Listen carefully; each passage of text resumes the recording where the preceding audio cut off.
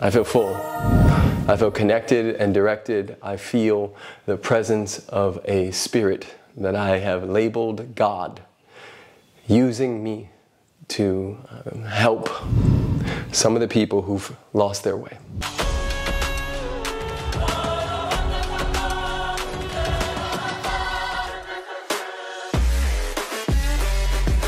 Somebody said, if you were broke, what would you do immediately? Good question. If you were broke, what would you do immediately?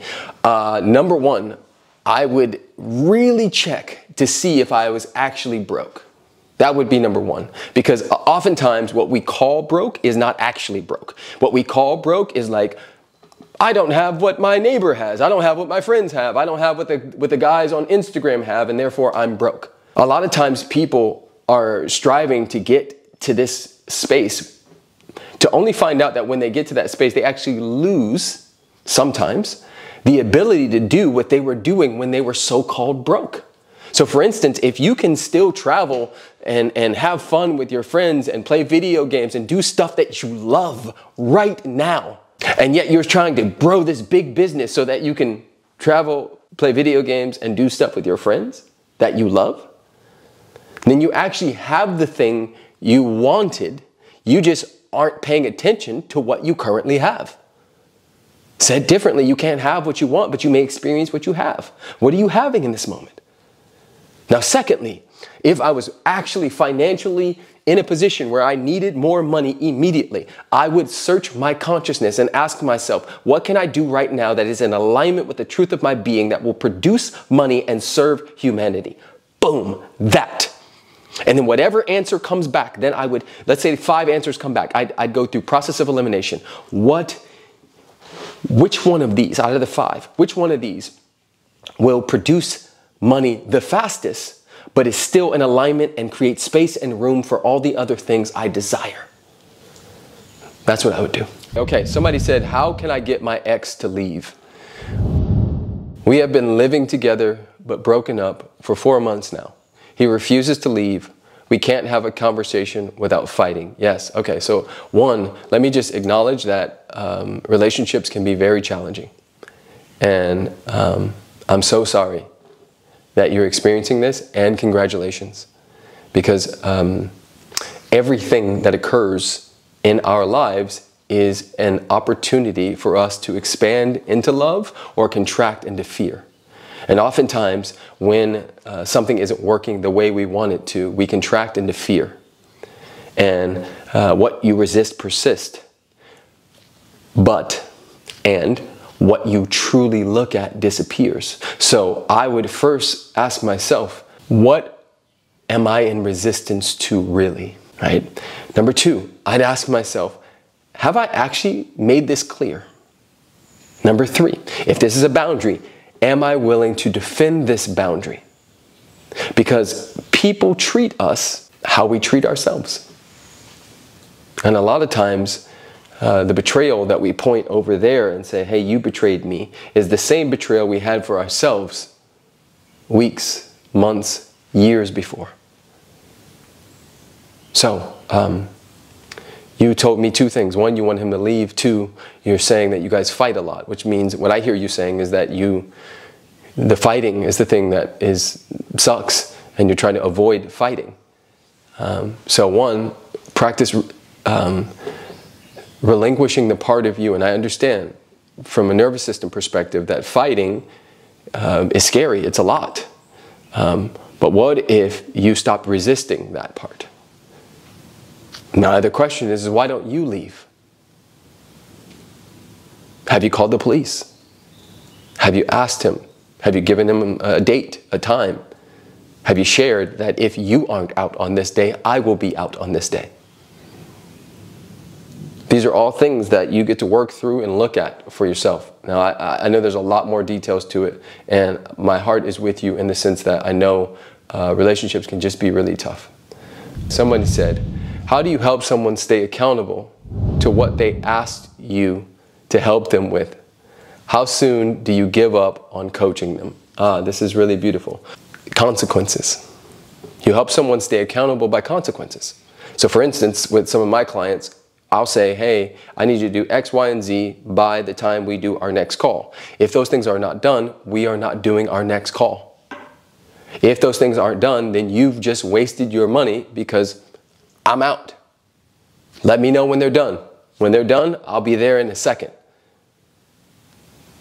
If you have boundaries that you are not willing to defend, they aren't actually boundaries. Your work is to stand by your work. Stand by what you say. Because if we don't if we don't believe you and if you don't believe you, then there's no there's no reason why I'm going to follow through. Hope that helps. How do you stop loving and hurting over someone that isn't choosing you? There we go. This is a tough one. You don't stop loving. Love is beyond uh, boyfriend and girlfriend. Out of 8 billion people, your soul and this person's soul chose each other. So you don't stop loving. Now, the second part of your question is, is uh, and hurting over someone that isn't choosing you. The hurting part is by allowing yourself to really sit with and feel the sadness, the grief, the, the, the, the, the understanding that the dreams and the things you had set up for this relationship aren't going to happen, at least not in the way you thought they were. A lot of times we hurt because we're in resistance. We hurt because we think we know better than God. But what if? What if there is a being one month from now, one year from now, that is actually your soulmate? And the one that's leaving you now is doing you a favor, but you haven't been able to see it because you're so caught up in what you think is supposed to happen. I have things happen all the time, and you know what I say? Spirit, do your thing. God, I see you moving.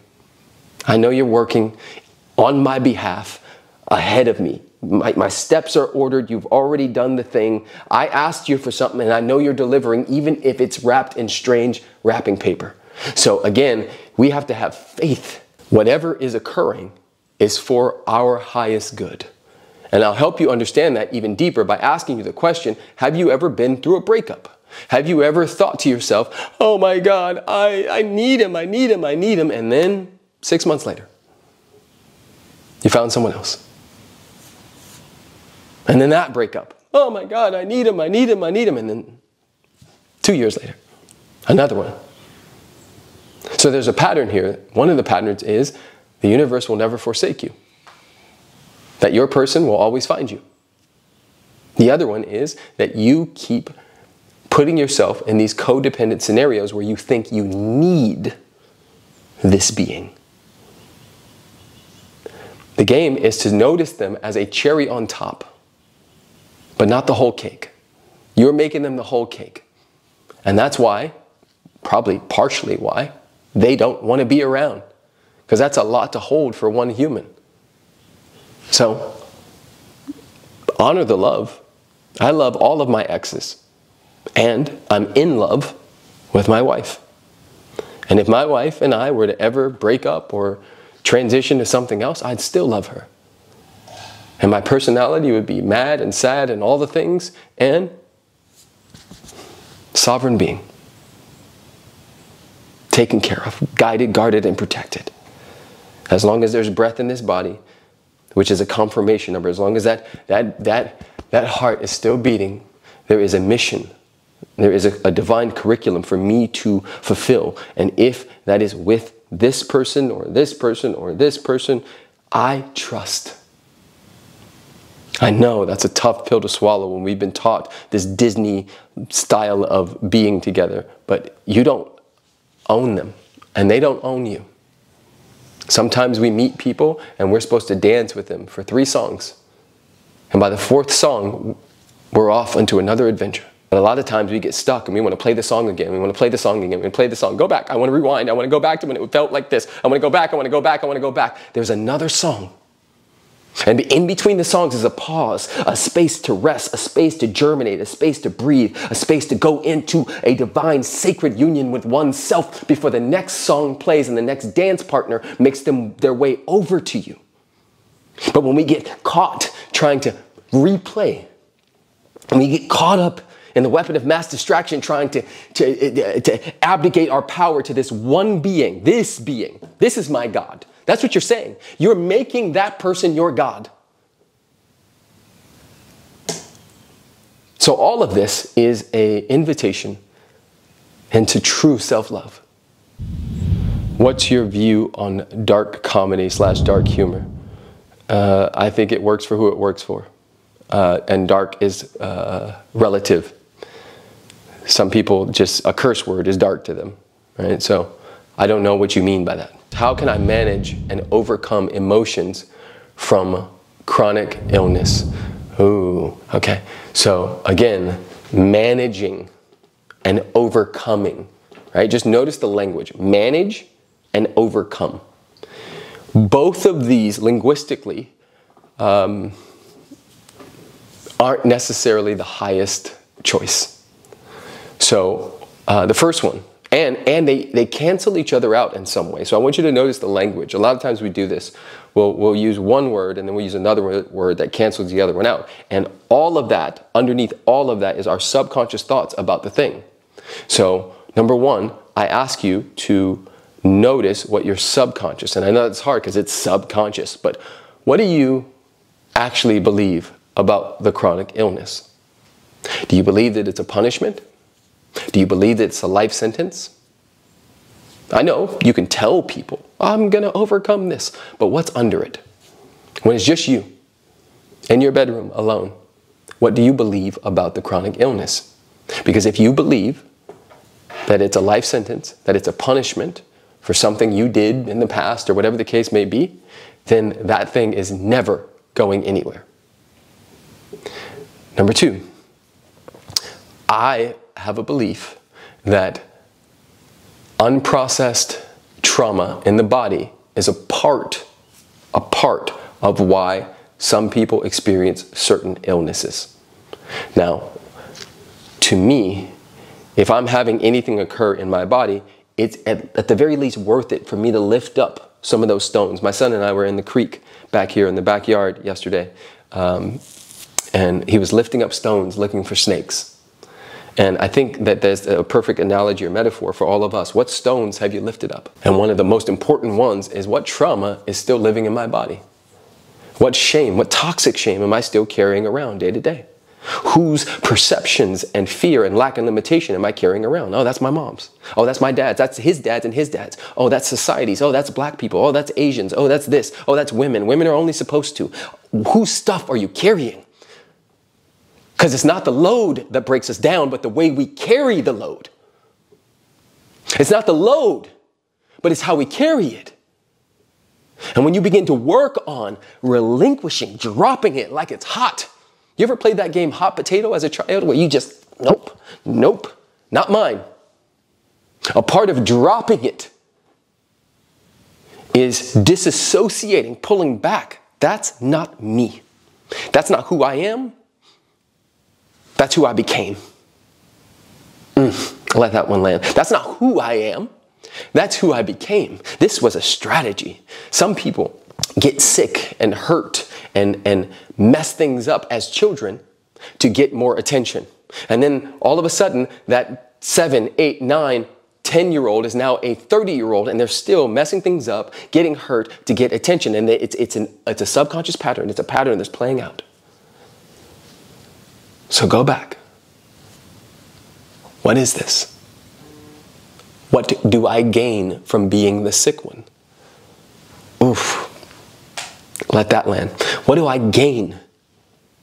Oh, I gain sympathy. I, I have a, a, back door for why I never go for my goals. Uh, I don't have to actually uh, go deep in relationships because I'm sick. Remember, I'm the sick one. I'm the hurt one. Now I know I'm going really deep here, and some of this may true, some of this may be true, and maybe none of it's true. But I'm just giving you a window into how I peek around, I poke around and stuff. I look at the language I'm saying. When? When do I not feel the pain as much? When does the pain come back even more? Who am I hanging around? What am I drinking? What am I eating? What am I consuming? We become scientists, happy scientists of ourselves, mad and sad and all the things scientists. That, that's the portal, that's the window, that's the opening. Okay, this person said, Do you have any advice on being in a relationship with someone in recovery?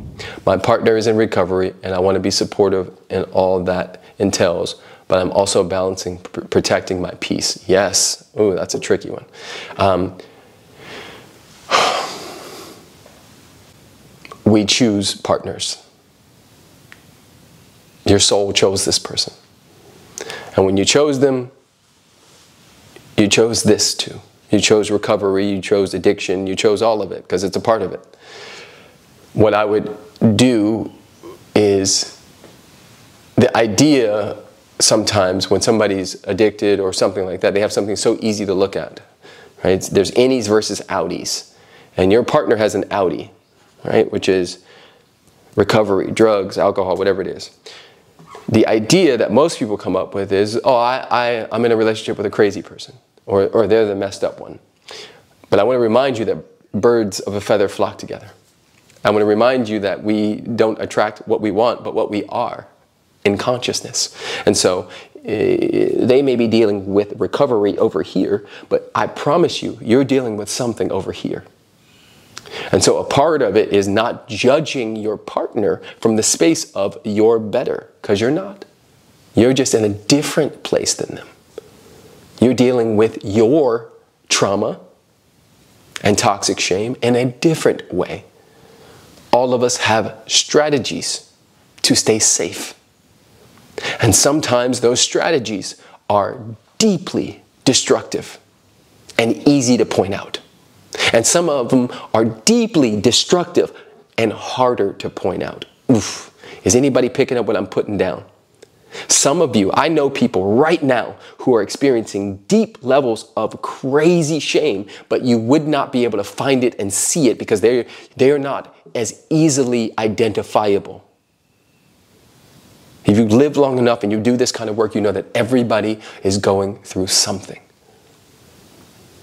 So, yes, protect your peace, but not against your partner, not because they're in recovery. Protect it because that's the most loving thing you get to do for you.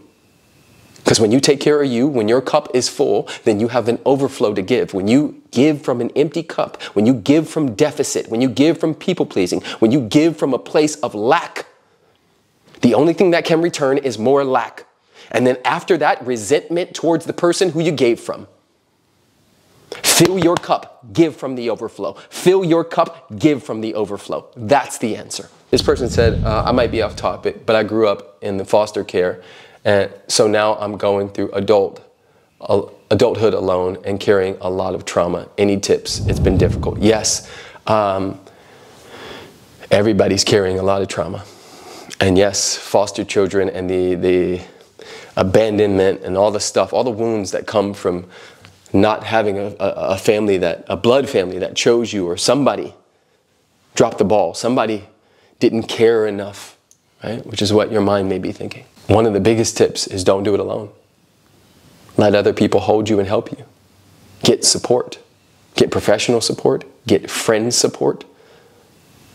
But continue to, to check in with how am I? Because a lot of times when, when somebody experiences uh, really big traumatic abandonments, um, the rest of their lives they can find themselves in hypervigilance and bracing for the next abandonment. Meaning, you may start dating someone and it's beautiful and the honeymoon and all that stuff, and as soon as your heart is all the way in, you start bracing. Oh my God, he's gonna leave me, he's gonna leave me, he's gonna cheat, he's gonna leave, he's gonna cheat, he's gonna leave, he's gonna cheat. And you begin to brace and sabotage and put that energy, you poison the well. You poison the well that both of you are drinking from because of the childhood wounds. And so your work is to take that energy and hand it to someone else. Take that energy, not your partner. They can't be them. You take it to a friend. You take it to a therapist. You take, take it to a coach and you take it to a workshop. You say, here, hold this with me. And then you feel it, you feel it, you allow it, you feel it, you feel it, you allow it, you feel it, and then you clear the channel. I have, I've experienced lots of trauma in this lifetime, deep levels of shame in this lifetime. And right now, I experience deep levels of liberation and freedom. And a huge part of that is because I did and have done exactly what I just said. So, those are some of the tips. Family has been terribly stubborn. Their final financial source is to sell their house. I want to help them, have been resistant for decades. Every day is critical. What is the best way to show up? That message is a little cryptic, but I'll just say um, don't get too attached to the house, my man. It's just material. If you're going to get attached to anything, get attached to helping their nervous systems regulate by loving on them and accepting them right where they are. Because a lot of time the resistance and stubbornness that happens in families is because uh, everybody thinks they're right. The, the work is to put down the sword of righteousness, put that sword back and say, let me open right now. Right? I don't know. I don't know enough to know what's, what's, what's needing to happen. So let me just love and open. Let me just accept and, and pour into my mom, dad, brother, sister, cousin. Let me stop judging them. Even if you don't say it out loud, people can feel energetically when they are being judged and not accepted. And so, your work, my friend, is to not get too attached or caught up in the idea of the house and holding and keeping the house. Keep the relationship over the house. Keep the love in your heart over the idea of the house. That's where the power is. And then watch. They'll probably come right back to you. This person said, How do I balance um, going for my goals and loving my children? I think that most people get in trouble when it comes to goals and children because they think that they're separate. They think and want because they're so used to setting their lives up where, where I go after my goals and I have all the time in the world and there's no interruptions and I, I can sit and ponder and think and etc. etc. Well, you also chose to have a lot of sex and have a child. And when those two things are put together, you actually put them together. The most agile creatures on the planet don't lock in to one way that it needs to be. An example would be a leopard. A leopard can kill you from jumping out of a tree, but they can also kill you from ambushing you and running up on you and chasing you down. They aren't locked in to the idea of tree. There's a million ways that that leopard can come towards you. And that's the same way you need to look at your goals and your children. It's all connected, it's all interwoven. If you take away the timeline, oh, I got to get here by X, I got to get here by Y, and you just say, hey, how can I enjoy this process and enjoy my children? How can I bring them um, together? Right? This person asked when to just honor divine timing versus when to push versus when to relax.